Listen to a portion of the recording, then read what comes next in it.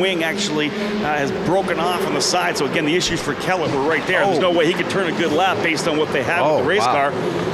And Rob, we got a car in the wall. It's Santiago Big. Urrutia who had just set the quick lap of the session, and he has hit that wall awful hard, Davey. Left front destroyed.